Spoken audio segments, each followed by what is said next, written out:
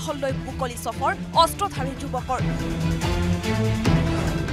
আৰক্ষীৰ জালত তিনিটাই গুলীসহ দুই অস্ত্ৰধাৰী যুৱক।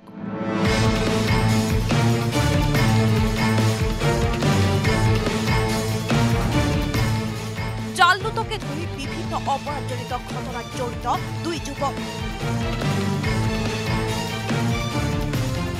পূৰ্বেও মাৰণাস্ত্ৰসহ গ্ৰেপ্তাৰ হৈছিল অন্য দুই যুৱক। লোকসভা নিৰ্বাচনৰ তৃতীয় পৰ্যায়ৰ ভোটগ্ৰহণলৈ মাজত মাত্ৰ কেইটামান দিন বাকী। নিৰ্বাচনৰ পূৰ্বে সমগ্ৰ ৰাজ্যৰ থানাত জমা হৈছে চৈধ্য হাজাৰ নশ একৈশটা অনুজ্ঞাপত্ৰ থকা মাৰণাস্ত্ৰ। বিপৰীতে অনুজ্ঞাপত্ৰ থকা মাৰণাস্ত্ৰ আছে ওঠৰ হাজাৰ দুশ দুটা।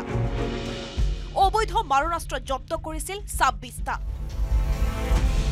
কিন্তু ইয়াৰ মাজতে মহানগৰীত একাংশই হাতে হাতে এতিয়াও সদম্ভে লৈ ফুৰিছে অবৈধ মাৰণাস্ত্ৰ। এই কথা পুনৰ প্ৰমাণ হল চান্দমাৰী আৰক্ষীৰ এক অভিযানত। এক গোপন সূত্ৰৰ পম খেদি চান্দমাৰী আৰক্ষীৰ অভিযান চলিছিল পাণবজাৰত। আৰক্ষীয়ে প্ৰথমে ৰখালে A S zero' six A L five zero' one zero' নম্বৰৰ এইখন আৰ্টিকা বাহন বাহনৰ ভিতৰত আৰক্ষীয়ে উদ্ধাৰ কৰিলে।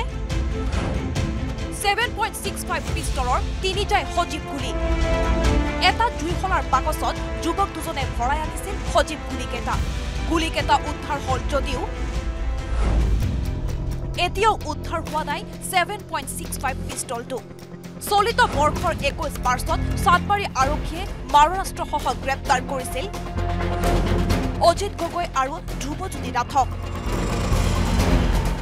অজিত আৰু ধ্ৰুৱজ্যোতিৰ স্বীকাৰোক্তিৰ ভিত্তিতেই শনিবাৰে এই দুই যুৱকক গ্ৰেপ্তাৰ কৰে চান্দমাৰী আৰক্ষীয়ে। আৰক্ষীৰ মতে ধৃত দেৱজিৎ আৰু অজয় পূৰ্বেও জাল নোট সৰবৰাহৰ গোচৰত গ্ৰেপ্তাৰ হৈছিল তেজপুৰত। জেলৰ পৰা ওলাইয়েই পুনৰ অপৰাধজনিত ঘটনাত জড়িত হৈ পৰিছিল দুই অভিযুক্ত। দুই অভিযুক্তৰ বিৰুদ্ধে চান্দমাৰী আৰক্ষীয়ে দীৰ্ঘদিন ধৰি চলাই আহিছিল অভিযান। শনিবাৰে যেন সদীৰ দশা বেয়া আছিল ধৃত চিলাপথাৰৰ এই দেৱজিৎ দেউৰী আৰু অজয় বিশ্বকৰ্মাৰ। চান্দমাৰী আৰক্ষীৰ হাতত গুলীসহ পাণবজাৰৰ পৰা গ্ৰেপ্তাৰ হল দুই অভিযুক্ত। এতিয়া পিষ্টলৰ সন্ধানত নামি পৰিছে চান্দমাৰী আৰক্ষী।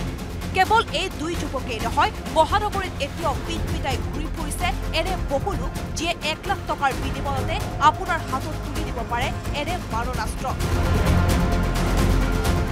গুৱাহাটীৰ পৰা বিৰিঞ্চি কুমাৰ ডেকাৰ report news eighteen Assam North East